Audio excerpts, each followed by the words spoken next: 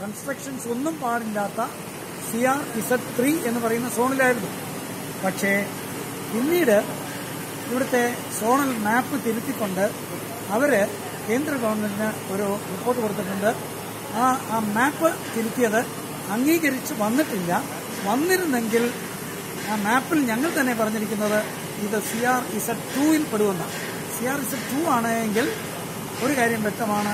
ഇത് ഈ ഫ്ലാറ്റുകൾ ഇരിക്കുന്ന മേഖല കൺസ്ട്രക്ഷൻ പാടില്ലാത്ത മേഖലയിൽ പെടത്തില്ല. അപ്പോൾ കൺസ്ട്രക്ഷൻ പാടുണ്ട് അല്ലെ പറ്റും. അങ്ങനെ ആകുമ്പോൾ ഇത് നിയമപരമാണ്.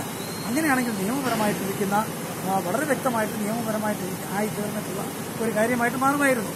അത് ആ പെസൽ ഇതാണ് കേന്ദ്ര ഗവൺമെന്റ് അതിന്റെ അറിവ് കിട്ടിയില്ല. അത് തെറ്റിപ്പോയി. കാരണം കേന്ദ്ര ഗവൺമെന്റ് കഴിഞ്ഞ ഫെബ്രുവരി മാസം ഇരുപത്തിയെട്ടാം തീയതി കേരള ഗവൺമെൻറിന് കത്തയച്ചിട്ടുണ്ട്. അതിന്റെ കോപ്പി എന്റെ കയ്യിലുണ്ട്. ആ കത്തിനകത്ത് ഒരു കോപ്പി ഈ സി ആർ ഇവിടുത്തെ സോണൽ അതോറിറ്റിക്കും മാർക്ക് ചെയ്തിട്ടുണ്ട്. അയച്ചിട്ടുണ്ട്. ആ വിവരം അവർ ധരിപ്പിച്ചില്ല. അവർ ധരിപ്പിച്ചിരുന്നുവെങ്കിൽ ഇപ്പോൾ ഈ ഫ്ലാറ്റ് മുഴുവൻ താഴെ കളഞ്ഞാലും നാളെ അപേക്ഷ കൊടുത്താൽ ഇത് സി ആർ സെറ്റ് ടൂയിൽ പെട്ടതാണ് എന്നുള്ളത് കൊണ്ട് അതിന് അനുമതി കൊടുക്കേണ്ടി വരും.